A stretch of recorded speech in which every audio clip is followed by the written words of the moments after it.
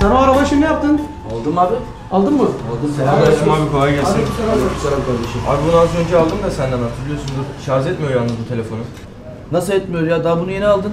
Abi iyi de dolu gözüküyor telefonu doldurmuyor.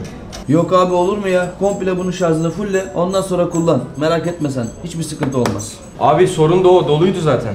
Abim doludur ama Çin elektriğiyle doludur bu. Türk elektriğiyle değil ki. Ya ne alakası var abi ne yaptın ya?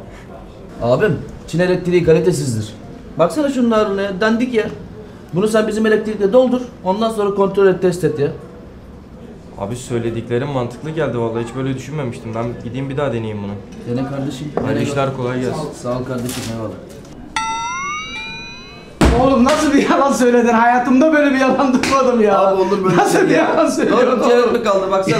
Kendimi zar zoruna tutuyorum. Hayatımız yalan oldu. Nasıl bir yalan bu oğlum ya? Gönderdik gitti.